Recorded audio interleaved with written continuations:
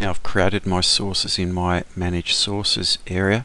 What I'm going to do is I'm going to add in some um, citations. So um, I love Jerry Lewis.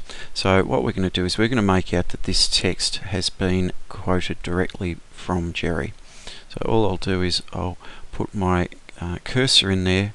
I'll click on insert citation and uh, I'll go to Jerry Lewis and I'll click in there and you can see that I've now got Lewis Jerry 1971. Now if I um, wanting to change that and add in a page number I'll just click on the text. You'll see that the drop down appears.